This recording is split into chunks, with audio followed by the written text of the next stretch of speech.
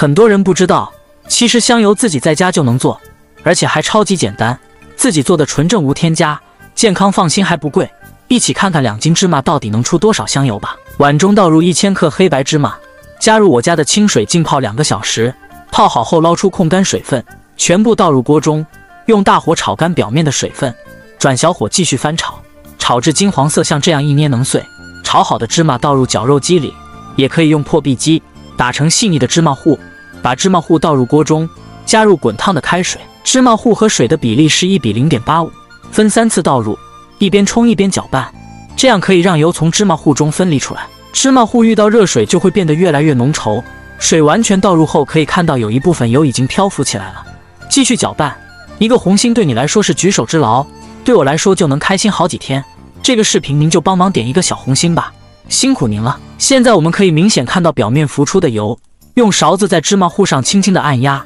可以加快香油浮出。这一步在传统工艺中叫做蹲油，感觉香油明显变多了。用勺子把油盛出来，过滤一下，装入无水无油的玻璃瓶中。传统工艺的芝麻油是没有经过高温压榨的，自己做的纯正浓香，保存起来你也试试吧。